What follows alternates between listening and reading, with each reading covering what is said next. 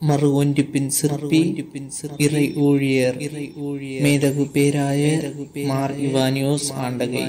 ஆண்டகை. ஆயிரத்தி தொள்ளாயிரத்தி ஐம்பத்தி மூன்று ஜூலை பதினைந்து. ஜூலை பதினைந்து. ஆயிரத்தி தொள்ளாயிரத்தி ஐம்பத்தி மூன்று ஜூலை பதினைந்து. ஜூலை பதினைந்து. பேராயர் மார் இவானியோஸ் ஆண்டகையின் பிறப்பு மற்றும் பெற்றோர். மார் இவானியோஸ் ஆண்டகை மாவேலிக்கரை பரம்பில் பணிக்கர் வீட்டில் ஆயிரத்தி எண்ணூற்றி எண்பத்தி இரண்டாம் ஆண்டு செப்டம்பர் இருபத்தி ஒன்றாம் நாள் பிறந்தார். இவரது பெற்றோர் தோமஸ் பணிக்கர் மற்றும் அன்னம்மா பணிக்கர் ஆவர். இவருடைய பிறப்பு பெயர் கீவர்கீஸ் பணிக்கர் வீட்டில்.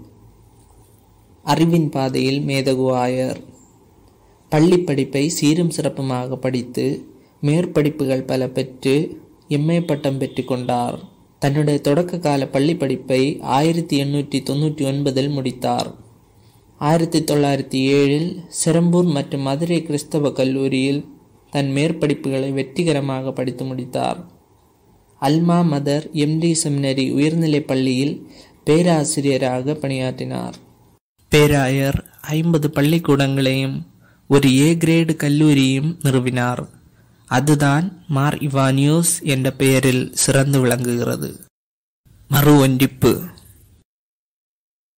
வழக்குகளாலும் பிளவுகளாலும் பிளவுபட்டு போன மலங்கரை சபையில் உண்மையான அமைதியை வழங்குவதற்காக கத்தோலிக்க திருச்சபையோடுள்ள மறு ஒன்றிப்பு மட்டுமே ஒரு வழி என்பதை பேராயர் மார் இவானியூஸ் ஆண்டகை அவர்கள் உறுதியாக நம்பினார்.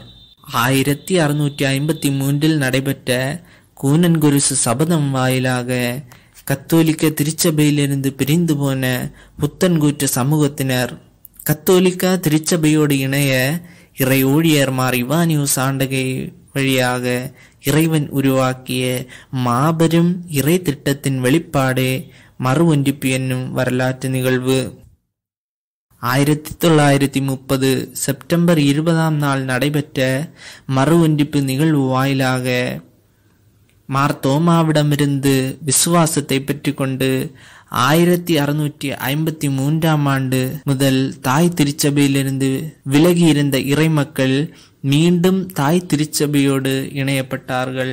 கத்தோலிக்க திருச்சபையில் கூட்டுறவிலிருந்து பிரிந்து நின்ற யாக்கோபாயா சபையில் மார் இவானியோஸ் பிறந்து வளர்ந்தார் தமது சபையில் காணப்பட்ட சண்டைகளும் சச்சரவுகளும் பிரிவினைகளும் கத்தோலிக்கா திருச்சபையோடு மறு ஒன்றிப்படைய அவரை தூண்டியது ஆர்த்தடாக்ஸ் சபையின் ஆயர்மன்ற கட்டளைக்கு ஏற்ப அவர் மறு ஒன்றிப்பு முயற்சிகளை தொடங்கினார் கத்தோலிக்க திருச்சபையில் மறுவன்றி படைவதற்கான ஒழுங்குமுறைகளை செய்தபோது ஏனைய ஆயர்கள் பின்மாறினர்.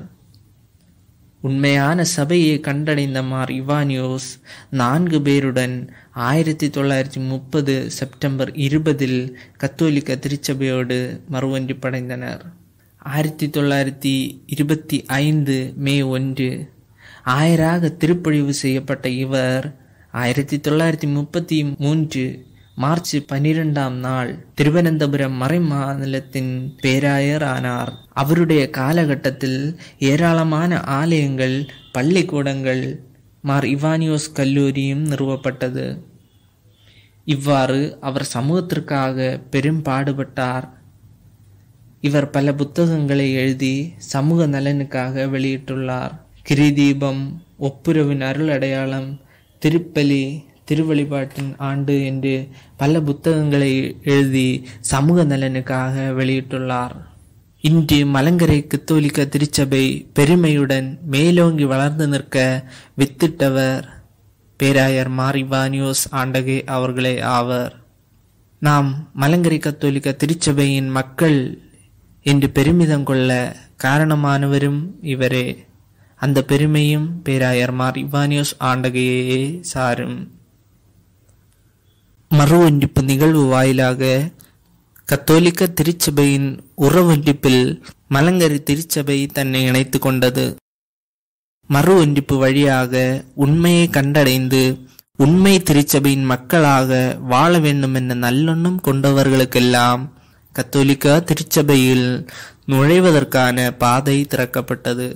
இவ்வாறு ஆர்த்தடாக்ஸ் யாக்கோபாயா மார்த்தோமா சிஎஸ்ஐ தொழியூர் சபை ஆகிய சபைகளிலிருந்தெல்லாம் ஏராளம் மக்கள் மலங்கரை சபையில் இணைந்து கத்தோலிக்க சபையின் இறைமக்கள் ஆயினர் கலக்கங்களும் கலகங்களும் மிகுந்திருந்த புத்தன்குற்று சமூகத்தில் அமைதி தவழக்கூடிய ஒரு புது வெளிச்சம் உணரப்பட்டது திருச்சபையின் ஆன்மீக வாழ்வில் வலுவடைந்தவுடன் அதன் கடமை உணர்வு மேலோங்க துவங்கியது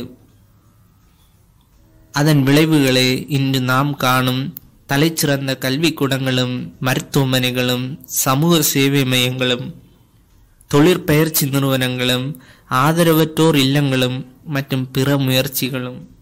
மலங்கரை கத்தோலிக்க திருச்சபை தாய் திருச்சபை ஆகிய கத்தோலிக்க திருச்சபையோடு இணைந்திருக்கவும் சமூக பொருளாதார அரசியல் அக்கறையும் ஈடுபாடும் கொண்ட சபை சமூகமாக வளரவும் மறுவண்டிப்பு என்னும் பேரியக்கம் உதவியது. ஆயிரத்தி தொள்ளாயிரத்தி ஐம்பத்தி மூன்று ஜூலை பதினைந்தாம் நாள் மார் இவானியோஸ் ஆண்டகை இயற்கை எய்தினார். இருபதாம் நூற்றாண்டு வெற்றி கண்ட மிகச்சிறந்த மறுவண்டிப்பு இயக்கத்திற்கு தலைமை தாங்கிய நபர் என்ற நிலையிலும் தூய வாழ்க்கையின் அடிப்படையிலும் மேதகு பேராயரை புனிதர் பதவிக்கு உயர்த்துவதற்கான நடவடிக்கைகள் தொடங்கப்பட்டன. திருவனந்தபுரம் பட்டம் புனிதம் மரியன்னை பேராலயத்தில் மேதகு பேராயர் இறுதி ஓய்வு கொள்கிறார். திருத்தூதர் மார் தோமாவிடமிருந்து விசுவாசத்தை பெற்றுக்கொண்டு மார் இவானியோஸ் ஆண்டகை வழியாக கத்தோலிக்க திருச்சபையோடு மறு ஒன்றிப்படைந்த கத்தோலிக்க திருச்சபையின் மக்கள் நாம் என்பது நமக்கு புது அடையாளத்தையும் மதிப்பையும் இச்சமூகத்தில் நமக்கு உருவாக்கி தருகின்றது.